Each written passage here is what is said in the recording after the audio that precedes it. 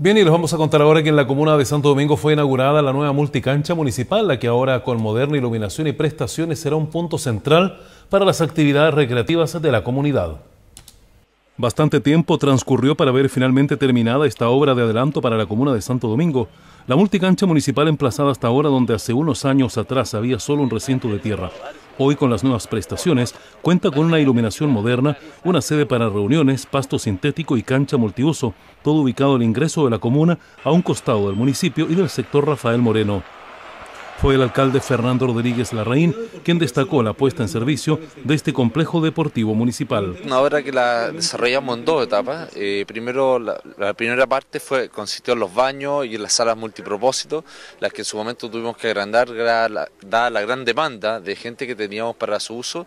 Y la segunda etapa, que es la que estamos inaugurando hoy día, que es la construcción de esta, de esta cancha con pasto sintético, las graderías, la iluminación, el cierre perimetral, el entorno y también la cancha, la multicancha que tenemos acá atrás. Así que una inversión importantísima que busca promover el deporte eh, en un lugar tan fundacional como el al, costado de la población Rafael Moreno. Los futuros usuarios del recinto estaban muy contentos con la puesta en servicio de la multicancha municipal, ya que se abre la posibilidad de realizar muchas actividades en este lugar, tanto para la comunidad como para agrupaciones y funcionarios municipales. El orgullo más grande de nosotros puede ser esto porque como andábamos en la tierra, empezamos con esta población en el, en el 1968.